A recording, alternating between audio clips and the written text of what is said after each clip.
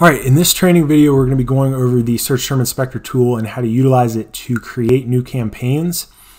Uh, it's really efficient and it's basically due to some of these additional columns that were determined during the initialization sequence that it's basically going to quickly be able to tell you uh, converting terms that are not already targeted in broad, phrase, exact, or ASIN uh, targeting ads. So all you need to do is run up to the Apex PPC menu, search term inspector. Then you got to decide if you want to start with your search terms or the ASINs. We'll do uh, we'll do the search terms not already in exact campaigns.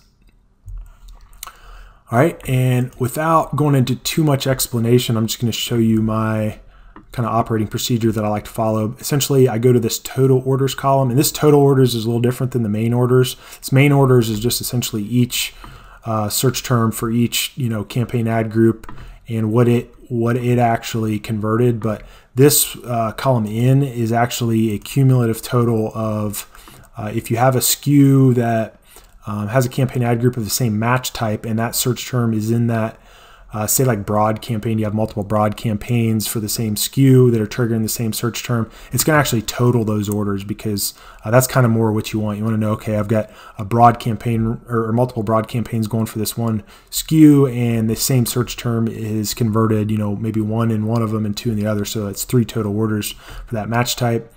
Uh, but I like to take this total orders column, deselect one and two, so I'm just seeing three or more order rows. You can see this demo data is throwing some errors, but you don't need to worry about that. Uh, the next filter I'll do, I'll deselect uh, multiple SKU campaigns, and then this not in Apex filter. This is meaning that I've got some, uh, you know, some campaign ad groups that are showing up in my search term report that aren't in my bulk ops file right now. And there's actually a way in the labs tab to import all of your uh, past campaign ad groups so it, you won't have that but I'll have another video that shows how to do that. For now just know that you can deselect both of those and that's just going to show uh, the ones that are currently active in your bulk ops file.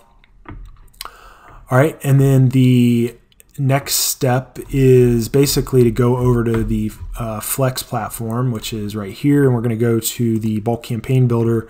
And this is actually where we're going to be able to build out our campaign. So you can see you can select different match types um, and then assign different names and whatnot.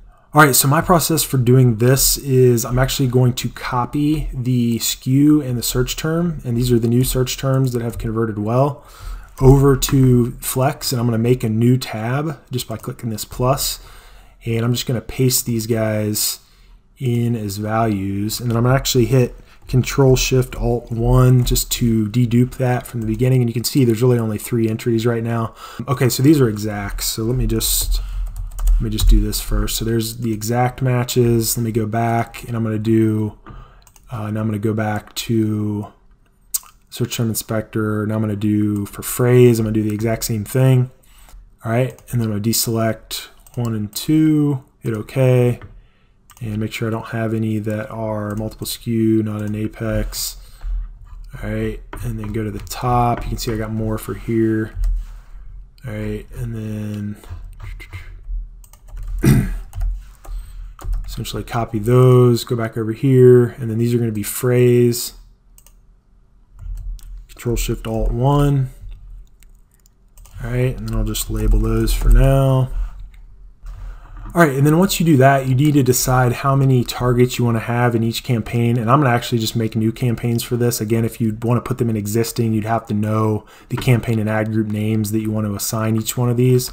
Uh, but I find it easier just to create new campaigns each time and just manage the bids through Apex. So uh, what you'll do is for all the exact campaigns, I actually do single keyword campaigns. So I just put the number one uh, next to each one of those, and you'll see why here in a second. And then for my phrase, I'll do a max of like either three to five. So I'll say a max of five for each SKU. So all I'm going to do here is go down to where the SKUs change and make sure, you know, you've got, um, I'll say a max of five. So there's one, there's one, there's one, there's three in that one, so it'd be four in that one, I'm good. Two in that one, and then one in that one. Same thing with broad, so I'll just do one, one, one. Next step you're gonna wanna do is transpose these. So you'll hit Control C and then just come up here, paste special, transposed, and this just gets it in a format that uh, the Flex system, you'll be able to easily copy and paste everything over. So these, just know that these are your exacts. So I like to just write exact. And then for my phrase, I'll do the same thing, copy the ones, and I'll skip kind of a column like that and do transposed. And then actually if you center it too, it helps a lot. Phrase. All right, and then once you have that, you can actually just delete that data. And here is where you actually need to, if you're gonna have multiple targets in each new campaign, each column basically is gonna become a new campaign. So uh, what you'll do is like for these ones with the same SKU, you'll just, uh, you can actually cut those and if you do a transpose again, it'll put them like that. Then you just delete the columns there after you assign them. That one will be single, single. Uh, this one we've got a couple, so control X, paste special, transposed. So I'm gonna finish this out for this entire sheet and then I'll be right back with everything formatted. All right, and then once you are done with formatting all of those columns, which that took me, I don't know, five minutes or so, I had quite a few ASINs, uh, but you'll have this format here where you've got that number that we identified for each campaign, and then we said for exacts, we're gonna do single keyword exact campaigns, and then for phrase broad and um, ASIN targeting, we're gonna do up to five or you know more just based on our discretion. So I've um, formatted all these accordingly. You can see as I scroll over to the right, there's my broad, and we've got all our ASINs there with the SKU being here kind of in, in row three. So I'll bold that. Uh, again, if you want to put these in existing campaign ad groups, you need to insert two rows here and just put in the campaign name and the ad group of the ones that you want to add them to. But uh, say if these are all new campaigns, it's even faster. So to start out with, I'm going to make essentially three exacts. I'm going to make uh, nine phrase and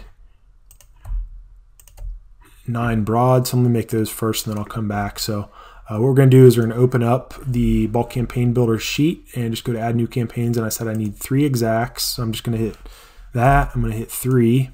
And then I said I need nine broad and phrase. So I'm to go back up and do nine phrase and nine uh, broad. All right, and then let's go back and see how many ASIN targeting campaigns we need. So we can just like that. Looks like 17. So we're going to go back and add 17 of these guys. Hit OK. Now because we took the time to format it like this, it's going to be super fast. And we copy over the uh, actually, what we can do to make this even faster, we can delete these spaces here.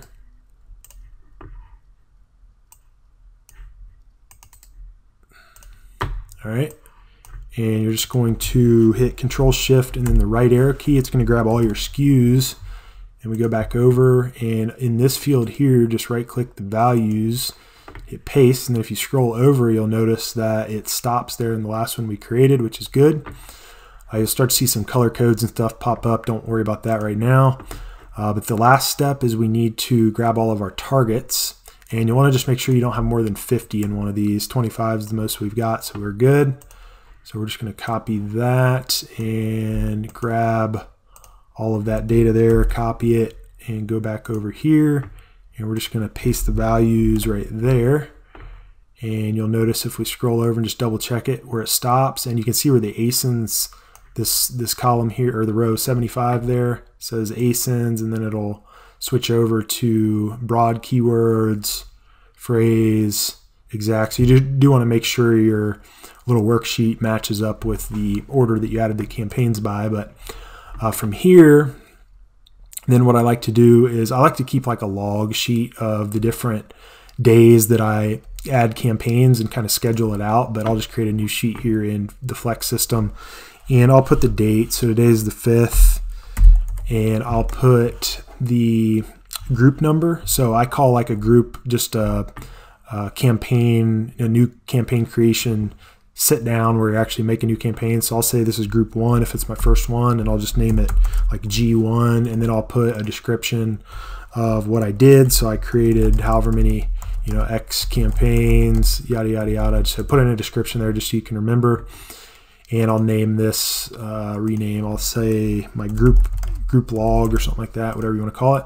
But that G1 then becomes the suffix. So that's what this is here. And I just change that each time I do a new kind of campaign creation. And then I can, in my bulk sheet uh, Apex system, I can easily uh, look for that G1 in the campaign name if I ever want to assign all those to a portfolio, for example, or just search for them and, and, and find them quickly. But uh, from there, all you got to do is walk down through these steps. This step two is optional. It just overwrites your formulas in some of the rows. But what I like to do in single keyword campaigns is I actually like to make the ad group the actual keyword. So you'll come up here and paste that, paste the values uh, there. Uh, actually, so I don't have right now the um, I don't have this onboarded correctly. I should have all my data in here uh, for the fee preview and all listing reports. Actually, I'm going to back my way out. I think I can still see. Uh, yeah, there we go. So now if I come over to here, I can actually grab, there'll be another video for how to onboard the Flex platform, but I'm just going to quickly get my ad group defaults in there. And Now, if I go back, I should have, yeah, see it, it uh, defaults as the ASIN. But when I click this lock campaign, it's going to actually override those formulas to values.